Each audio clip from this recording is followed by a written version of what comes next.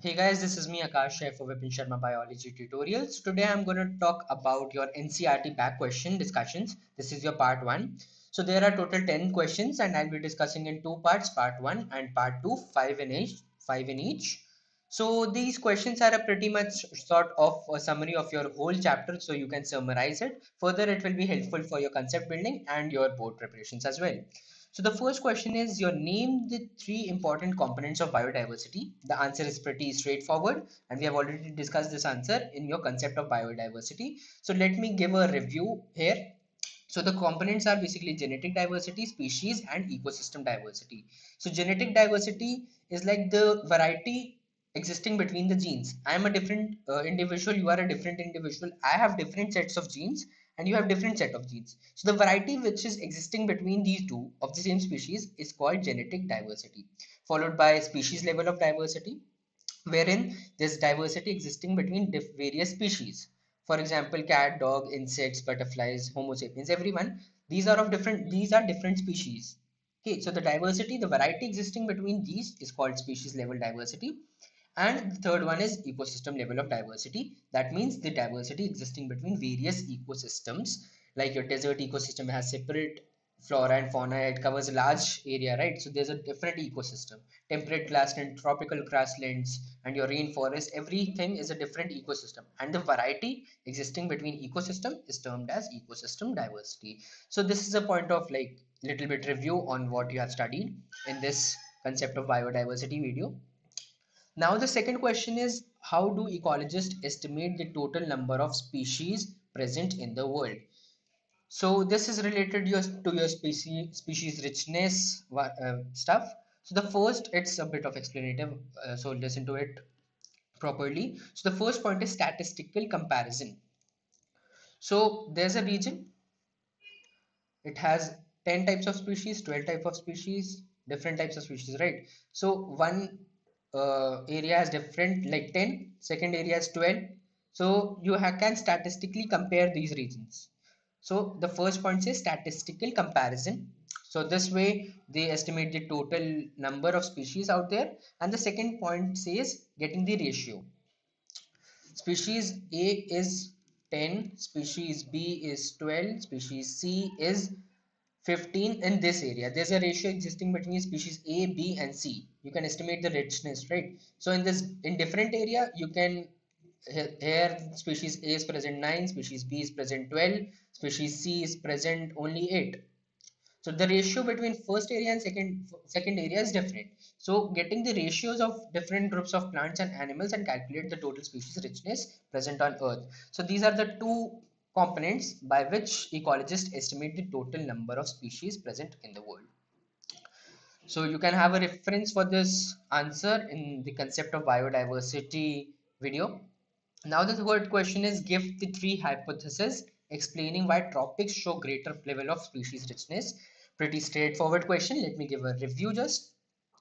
So the first point is receives more solar radiations. The amount of solar radiations received by this tropics is more than temperate or polar regions. More the solar radiations area receives, more the productivity of that region is. More the biomass content the area has. So this tropic receives more solar energy. That means more productivity is there, right?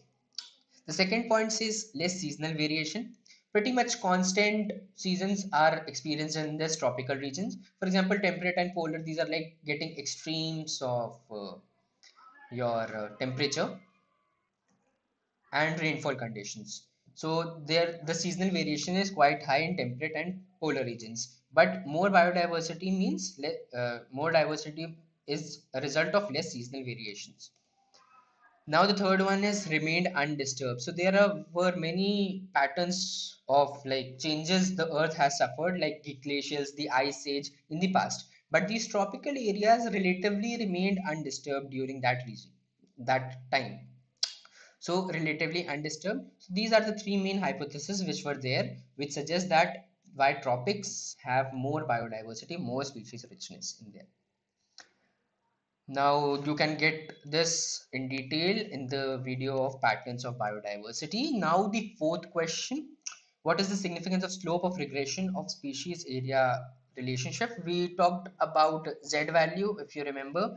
So the small areas regardless of their taxonomic group are less steep means less biodiversity is out there in smaller region. But when you increase the area the slope is much larger the z value is much larger in case of large areas smaller in case of your uh, small areas. So this is less steep this is much more steeper. Then there's a species richness uh, relationship and this is given by the slope. And this is the significance of the slope. More steep the slope is larger area larger biodiversity. Less steep the slope your smaller area less biodiversity. So you can get in detail this question in patterns of biodiversity so the fifth question is uh, what are the major causes of species loss? Again a simple straightforward direct question. Just have a review of it. Habitat loss and fragmentation. There's a area divided due to man's activity in part 1 part 2 part 3 part 4 due to fragmentation. And this led to habitat loss. Simple straight, pretty straightforward. Over exploitation.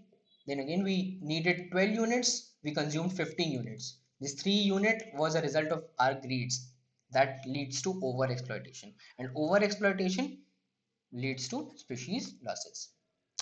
Now, alien species invasion, there's an ecosystem, good one, healthy one, stable, but an external species came into picture, attacked the indigenous species, and the indigenous species were hampered, led to alien species invasions. Followed by co-extinction, one species A was dependent on species B. Species B undergo a loss, species A will also undergo a loss. So it's co-extinction. One got extinct, the other will automatically go extinct. So you can get to know more about it in the biodiversity losses video. So that's kind of it guys and I hope this video helped you. Keep watching Vipin Sharma biology tutorials for more videos like that. Thank you.